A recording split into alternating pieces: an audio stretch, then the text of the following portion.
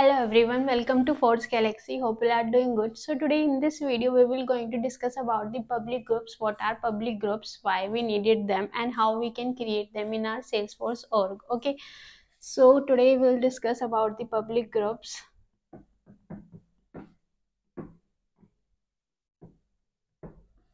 So our first point is what are public groups? Okay, so public groups okay so public groups is a group of user okay we have two three users and using this two three users we want to create a group. So in future as per our requirement we can be able to share our records or the list views or anything.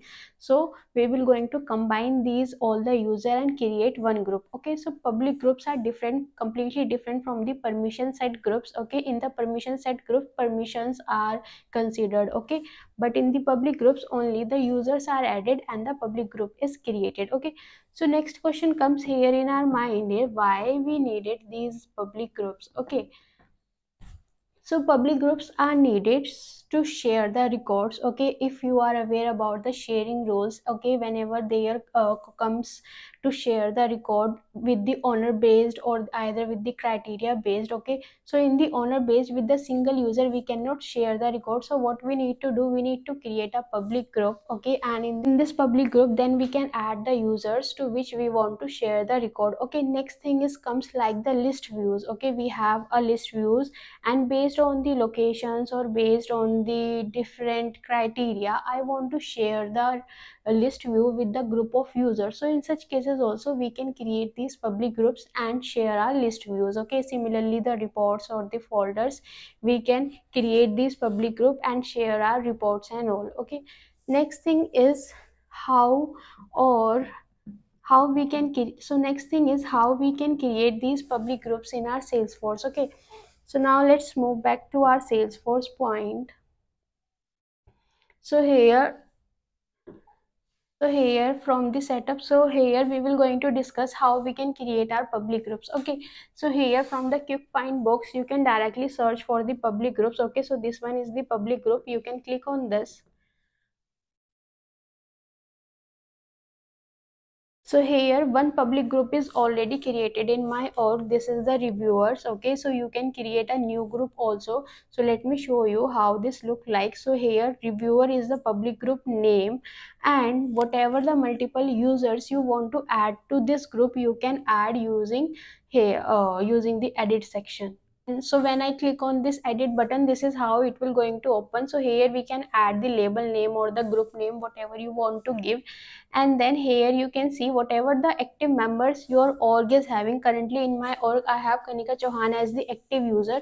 So only this user is added as a member in this public group. Okay and here as you can see there is one checkbox is there grant access using hierarchy. So you must have heard this multiple times in the sharing settings also okay in the role hierarchies so grant access using hierarchy. So if you will going to make this checkbox as true so what will happen? Or whatever the users are uh, whatever the users are in the upper hierarchy for all the user member in this the records will be shared with them also okay so let me show you when selected any record shared with the user in this group are also shared with the user higher in the role hierarchy. Similar way we are having in the role hierarchies if we will going to mark this as true then the whatever the managers are there they can be able to access the uh, records of their lower users or the teammates and all. Okay so similarly whatever the user we will going to add here and their managers or the users which are in upper hierarchy can be able to see the records of this public group. Okay. So this is how we can create the public group in our salesforce. So now uh, let's take an example. So here uh, again I have a account. Okay. So here multiple list views I am having. So these are the multiple list views I am having here. So what I want now this particular list second list view i want this list view to be visible or to be shared with the particular public group or a uh, or or with the set of users okay? So yes we can do so also. So here in the setting button you will go.